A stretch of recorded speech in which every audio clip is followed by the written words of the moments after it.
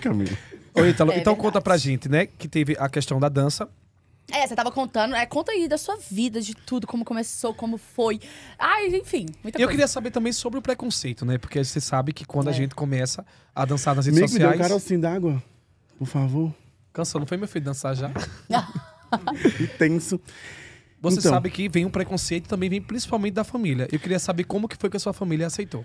Então, não sei se vocês sabem, né? Eu sou uma ex-cancelada. E aí meus carregadinhos me chamam da cancelada mais amada, sabe? Aham. Só que aí meu cancelamento veio antes da internet, né? Eu vim de minorias. Eu sou gay, eu sou preto, eu sou nordestino. Então, pra mim, sempre foi um pouquinho mais complicado. Uhum. E principalmente na família, né? A gente já sofre fora. E tem que vencer as barreiras dentro de casa pra ir pra fora. E aí, pra começar com dança também, que ninguém acredita Sim. sabe? Quando eu conseguia as bolsas, os cursos gratuitos por eu não ter condição.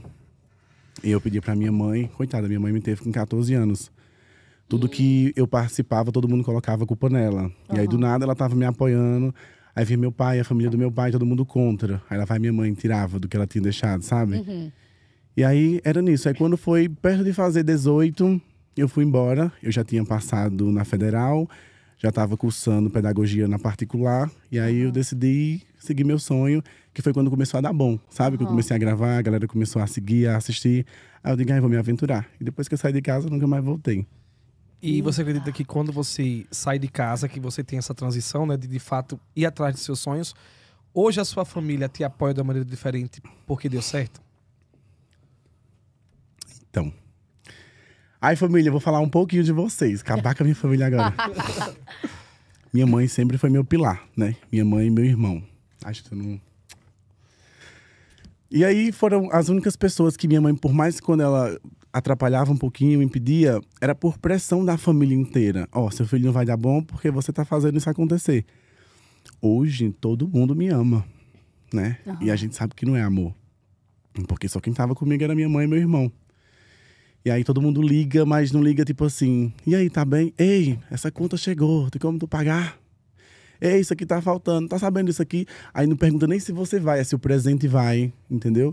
E aí incomoda um pouquinho. Mas eu sou uma pessoa tranquilo com isso, porque as pessoas que eu sou mais apegada é minha mãe e meu irmão. Eu comprei uma casa pra ela agora.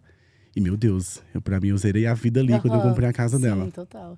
Nossa, muito feliz. Mas hoje a aproximação que eu vejo é mais por conta do interesse. E as pessoas que eu tenho mais ligação é minha mãe e meu irmão, que foi quem tava comigo quando ninguém acreditava em mim. Já pensou que você pode fazer mais de 100 mil reais em apenas um ano com um canal de cortes no YouTube sem precisar aparecer? Pois é, olha aqui na minha tela, mais de 100 mil reais desde a criação desse canal, onde você está vendo esse vídeo nesse exato momento. Você não só pode, mas como também conseguirá aprender comigo tudo que fiz para ter esses resultados incríveis nesse canal. Eu preparei uma apresentação explicando tudo que fiz para ter esses resultados. E para ver essa apresentação, clique no link abaixo. Mas corre, a página logo ficará fora do ar.